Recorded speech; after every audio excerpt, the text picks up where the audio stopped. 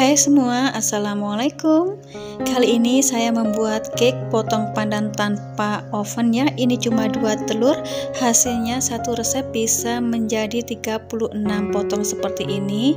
Dan ini hasilnya benar-benar empuk, lembut Dan pastinya anti gagal dan cocok sekali buat ide jualan.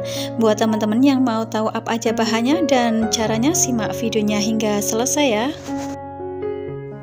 Baiklah, langsung aja ke cara pembuatannya. Pertama, siapkan wadah, masukkan 2 butir telur, gula pasir, dan emulsifir. Di sini saya menggunakan SP. Teman-teman juga bisa menggunakan TBM atau ovalet ya. Kemudian ini mixer dengan kecepatan paling tinggi, tapi mixernya secara bertahap ya. Jangan langsung ke kecepatan paling tinggi. Ini kita mixer hingga putih, kental, dan berjejak seperti ini ini kita gunakan kecepatan paling tinggi paling maksimal. Nah seperti ini. Kemudian tahap selanjutnya masukkan tepung terigu. Di sini saya menggunakan tepung terigu protein sedang yaitu segitiga biru. Kemudian tambahkan garam dan vanili bubuk. Ini aku ayak terlebih dahulu ya. Biasanya ada bahan-bahan kering yang bergerindil seperti ini Kemudian masukkan juga susu cair sebanyak 200 ml atau teman-teman juga bisa menggunakan satu saset SKM ya dicampur air hingga 200 ml. Kemudian tambahkan pasta pandan sebanyak 1 sendok teh. Nah, ini kita mixer dengan kecepatan paling rendah asal rata saja, jangan terlalu lama karena nanti bisa overmix ya. Nah, ini saya sudahi dulu mixernya. Untuk konsistensi adonan seperti ini. Dan ini akan saya lanjut dengan mengaduk dengan spatula ya. Kita aduk balik seperti ini. Kita sisir-sisir bagian pinggirnya. Dan untuk bawahnya jangan lupa kita aduk balik. Dan ini harus benar-benar tercampur rata ya. Kalau tidak tercampur rata nanti uh, kuenya bisa bantat. Nah, untuk konsistensinya seperti ini ya, teman-teman.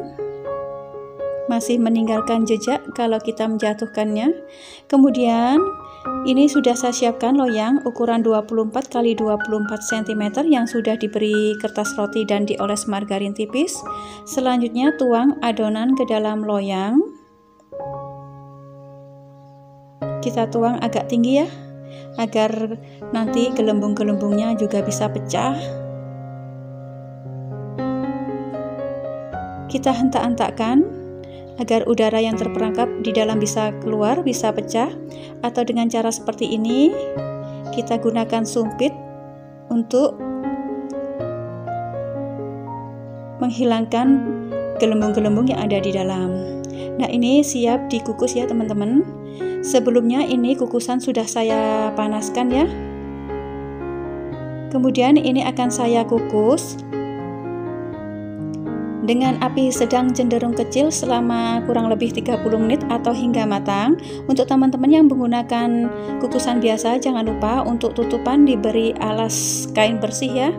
Di sini saya menggunakan kelakat, jadi tidak perlu menggunakan kain bersih untuk alas ya. Dan ini sudah matang kurang lebih selama 30 menit. Ini kita tes tusuk untuk melihat tingkat kematangan.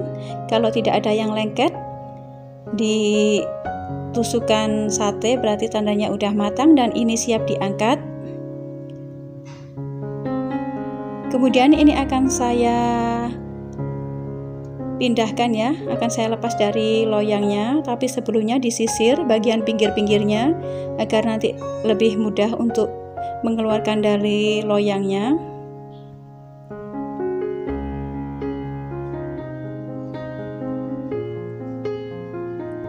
Kemudian ini kita lepas kertas rotinya perlahan saja. Dan ini kita tunggu dingin sebelum nanti diberi buttercream ya teman-teman. Dan ini sudah dingin ini siap diberi topping dan dipotong. Tapi teman-teman bisa saja ya diberi buttercream terlebih dahulu baru dipotong. Tapi kali ini saya potong dahulu Kali ini saya akan potong menjadi 36 buah ya, seperti ini ukurannya. Kemudian ini akan saya beri buttercream. Ini tipis-tipis aja untuk buttercreamnya karena buat ide jualan ekonomis ya. Kita sesuaikan dengan bahannya. Nah, ini udah rata seperti ini udah cukup. Kemudian ini akan saya beri tab taburan keju cheddar parut. Ini sepertiga dari keju yang kemasan 200 gram ya. Ini kita parutkan saja langsung di atasnya seperti ini. Di sini pakai sepertiga balok ya. Dan ini udah cukup. Kemudian ini akan saya beri hiasan. Pakai selai strawberry optional saja. Kalau tidak pakai juga tidak apa-apa ya. Jadi tergantung teman-teman kalau mau memakai juga boleh atau enggak juga boleh. Jadi optional saja. Nah ini teman-teman udah selesai untuk toppingnya. Kemudian ini udah aku siapkan paper cup. Dan ini aku kemas seperti ini ya. Pakai paper cup seperti ini. Ini cocok sekali buat ide jualan atau isian snack box dan ini kita lakukan hingga selesai.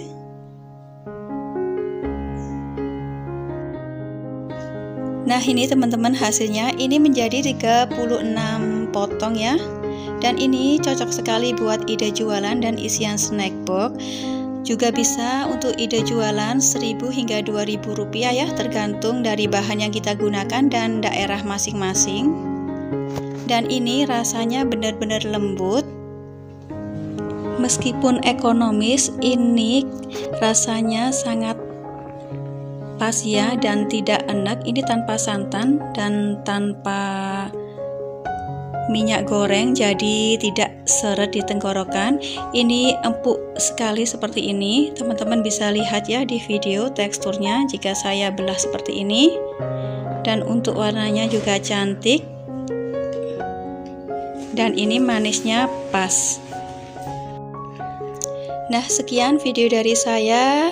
Terima kasih sudah menonton hingga selesai. Dan yang belum subscribe, jangan lupa klik tombol subscribe-nya ya. Dan aktifkan tombol lonceng notifikasi agar teman-teman tidak ketinggalan video terbaru dari saya.